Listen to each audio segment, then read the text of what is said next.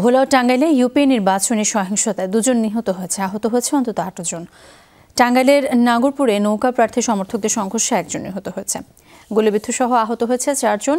স্থানীয়রা জানায় দপ্তিয়র ইউপি নির্বাচনে নৌকার প্রার্থী আবুল হাশেমের দুই সমর্থকদের মধ্যে কথা কাটাকাটি হয়। এরই জেরে সন্ধ্যায় সংঘর্ষে জড়ে দুপক্ষ আহতদের হাসপাতালে নেয়ার পর তোতা শেখ নামে একজন মারা যায়। সন্ধ্যায় ভোলার মনপুরা ইউনিয়নের নবনির্বাচিত চেয়ারম্যান নাসির উদ্দিন নান্নু সংবর্ধনা অনুষ্ঠান শেষে বাড়ি ফিরছিলেন তার সমর্থকরা। মেঘনা নদীর নাসির মাঝি এলাকায় পৌঁছলে স্পিড বোটে এসে অতর্কিত হামলা চালায় দুর্বৃত্তরা। এলোপাতারি গুলিতে ঘটনাস্থলে গুলিবিদ্ধ হয়ে নিহত হন টিটু। আহত চারজনকে হাসপাতালে ভর্তি করা হয়েছে। নিহত খোরশেদ আলম টিটু দৌলত খানের ধুনিয়া ইউনিয়ন যুবলীগের সাংগঠনিক সম্পাদক।